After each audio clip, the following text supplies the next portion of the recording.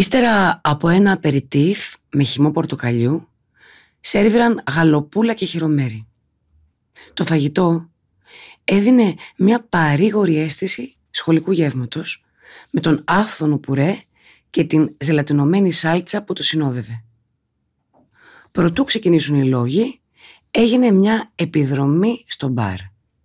Ο Τζέρι έφερε στην κούσλα ένα ποτό. Το ίδιο έκαναν και ο Χάρη με τον Τζο. Όταν είχαν καθίσει πάλι όλες τις θέσεις τους, ο πατέρας της νύφης σηκώθηκε αργά και καθάρισε το λαιμό του. Είπε πόσο περήφανος ήταν για την κόρη του, η οποία από τη μέρα που γεννήθηκε ήταν ένα πολυάσχολο, χαρούμενο πλασματάκι.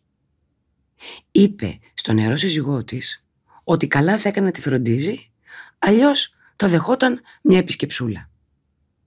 Η κούσλα ένιωσε ένα δάκρυ να σχηματίζεται στην άκρη του ματιού της. Εκείνη δεν είχε πατέρα.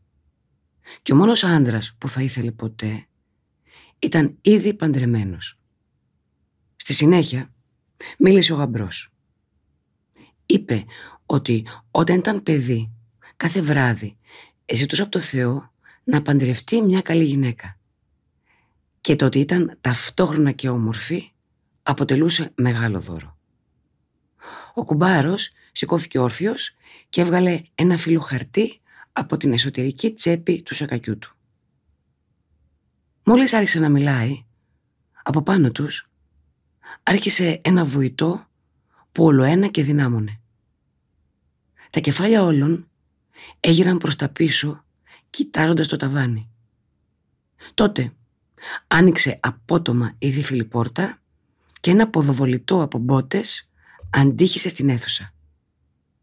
Η περίπουλος που είχαν δει νωρίτερα με ένα ελικόπτερο να πετάει πάνω από το κτίριο για να τους καθοδηγεί από αέρος. Ο κουμπάρος κάθισε κάτω και ήπια μια γουλιά από την πύρα του. Ένας ακόμα ήχος αναδύθηκε στο βάθος. Ένα ορμητικό σφύριγμα εντυνόμενο καθώς ταξίδευε στην αίθουσα.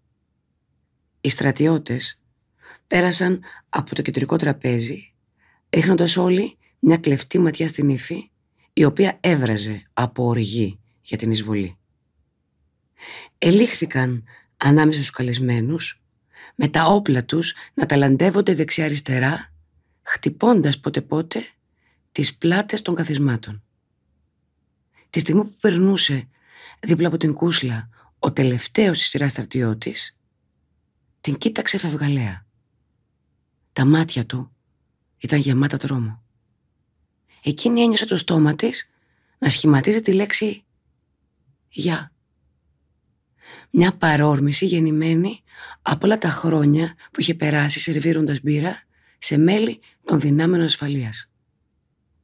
Χαμήλωσε το βλέμμα, ελπίζοντας ολόψυχα να μην το είχε προσέξει κανείς.